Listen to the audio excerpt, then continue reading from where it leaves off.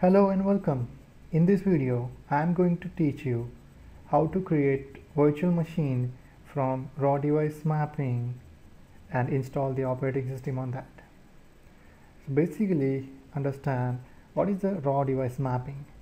Raw device mapping is the physical LUN which will be presented to your ESXi host from the storage and that LUN will have direct access to virtual machine and virtual machine will write directly on that LUN itself. So we are not going to use VMFS data store to create virtual machine.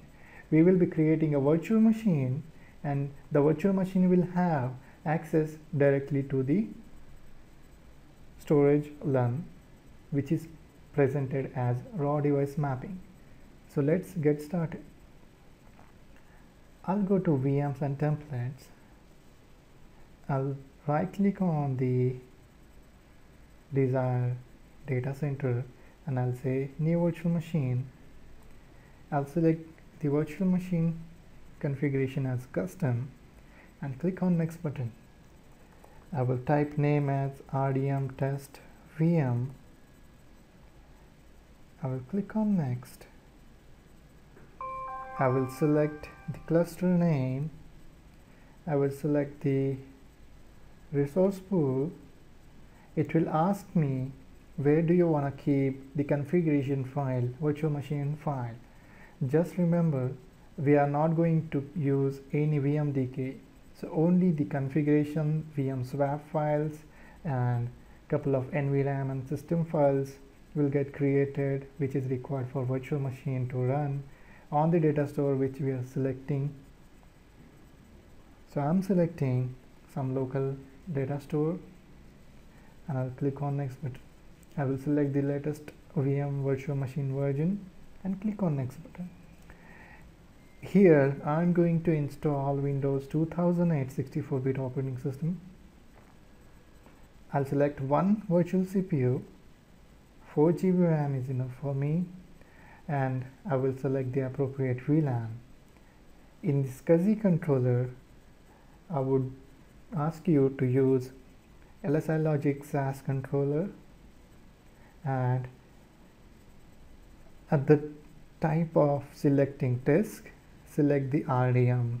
This option will available only if you presented any LUNs to your ESXi host. If you don't have any LUNs presented to ESXi host, this option will be grayed out. Click on next button, select the LUN ID. This LUN ID will be provided by your storage admin or the storage guy who manage the storage. So make sure you select the correct LUN ID.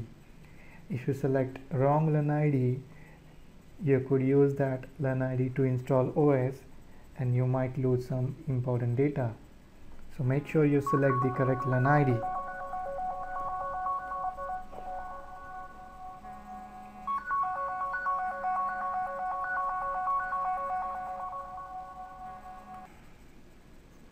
Select the appropriate LUN and click on next button. It will ask you where do you want to keep the LUN mapping virtual disk. Select the store with virtual machine. Click on next button keep it in a physical compatibility mode or virtual compatibility mode. I would say keep it virtual compatibility mode, mode because it will allow virtual machine to VMware to use VMware snapshot feature. So you can take a snapshot of a VM which is using RDM. That's great, isn't it? Click on next button. Then select the SCSI ID. For the boot, I always prefer to select SCSI 0.0 and when I select the data disk I keep it on SCSI 1 2 3 4 controller. So keep it on SCSI 0 0 and click on next button. You can verify entire thing in the configuration page and click on finish button. It will take couple of seconds to create a virtual machine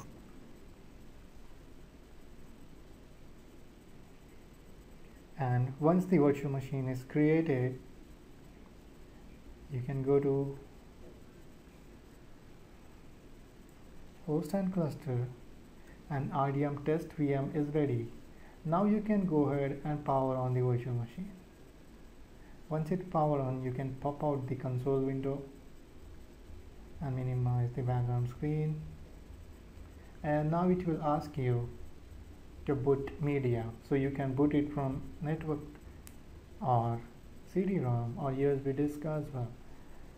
So after that, you can go you can go to setting and provide some installable media and you can continue the installation that's all that's conclude how to create a VM which is using raw device mapping as a bootleg thank you so much for watching this video. I would like to subscribe my channel for more training. Thank you so much